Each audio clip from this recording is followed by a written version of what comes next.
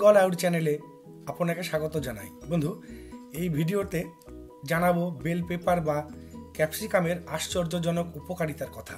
সঠিক নিয়মে এটি খাওয়ার কথা এবং কিছু ভয়ঙ্কর পার্শ্ব প্রতিক্রিয়ার সম্বন্ধে।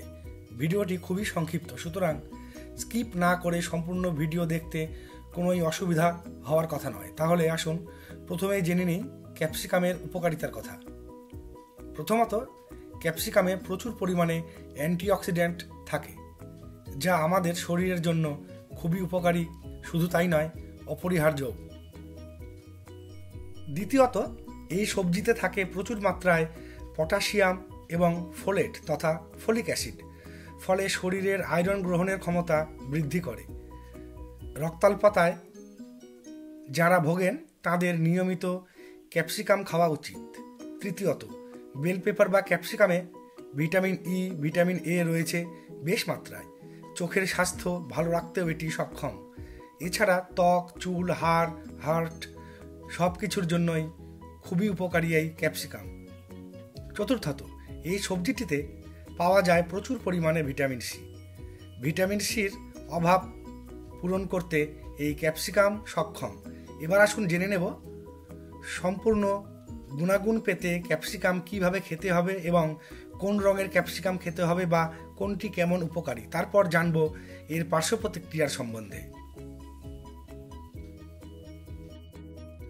যেহেতু ক্যাপসিকামে প্রচুর পরিমাণে ভিটামিন সি থাকে, তাই খুব কম তাপমাত্রায় বা কম আঁচে রান্না করা দরকার। বেশি আঁচে এবং বেশি সময় ধরে রান্না করলে ভিটামিন সি নষ্ট হয়ে যায়। তবে সবথেকে ভালো যদি এটি স্যালাডের সঙ্গে বা স্যালাড হিসেবে খেতে পারেন। কাঁচা ক্যাপসিকাম, স্যালাডের অন্যান্য উপকরণের সঙ্গে মিশিয়ে নিতে পারেন। এতে সম্পূর্ণ পুষ্টিগুণ পাওয়া সম্ভব। আর হ্যাঁ বাজার থেকে কিনে এনে ফ্রিজে বেশি দিন ফেলে রেখে খাবেন না। দু থেকে তিন দিনের মধ্যেই খেয়ে নিতে হবে। বেশি দিন ফ্রিজে রাখলে পুষ্টিগুণ বিনষ্ট হয়। এবার আসি কোন রঙের ক্যাপসিকাম আমরা খাব। তিনটি রঙের ক্যাপসিকাম বাজারে দেখা যায়। সবুজ, লাল এবং হলুদ। কী রঙের ক্যাপসিকাম খাচ্ছেন তার উপর নির্ভর করে ভিটামিন সির কনসেন্ট্রেশন কতটা। যেমন লাল রঙের ক্যাপসিকামে ভিটামিন সি অনেক বেশি পাওয়া যায়। তাছাড়া সবুজ রঙের বেল পেপারে থেকে প্রায় এগারো গুণ বেশি বিটা ক্যারোটিন তথা ভিটামিন এ পাওয়া সম্ভব, লাল রঙের বেল পেপারে।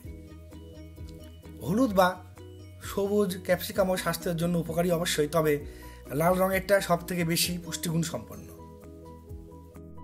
এবার আসি বেল পেপার বা ক্যাপসিকামের সাইড এফেক্টস বা পার্শ্ব প্রতিক্রিয়ার সম্বন্ধে। সাধারণভাবে ক্যাপসিকাম স্বাস্থ্যকর এবং শিশু থেকে বৃদ্ধ সকলেই খেতে পারেন। তবে এমন অনেক উদাহরণ রয়েছে ক্যাপসিকাম খেয়ে অনেকের ভয়ঙ্কর অ্যালার্জির সৃষ্টি হয়েছে। সুতরাং যাদের এমনিতেই বিভিন্ন খাবারে অ্যালার্জি রয়েছে, তারা ক্যাপসিকামে কোনো রকম অ্যালার্জি হচ্ছে কি না তা জেনে বুঝে খাবেন। শিশুদেরকে খাবারের সঙ্গে দিলেও প্রথম দিকে দু এক টুকরো করে দিয়ে দেখে নেবেন।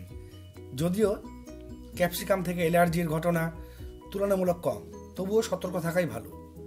আবার ক্যাপসিকাম খেয়ে বমি ভাব, ডায়রিয়া, গা, হাত পায়ে জ্বালা ভাব, পেট ব্যথা, বদহজম, প্রচণ্ড হাঁচি, প্রভৃতি সমস্যা দেখা যায় অনেকেরই। এই সকল সমস্যার কারণ অবশ্য আর কিছুই নয়, বেশি পরিমাণে ক্যাপসিকাম খাওয়ার ফল। তাই নিয়মিত এই বেল পেপার বা ক্যাপসিকাম খেলেও একজন ব্যক্তি একটির অর্ধেকের বেশি খাবেন না। তাহলেই সমস্ত সাইড এফেক্টস এড়ানো সম্ভব হবে। আজ এ পর্যন্তই। ভিডিওটি দেখার জন্য ধন্যবাদ রইল।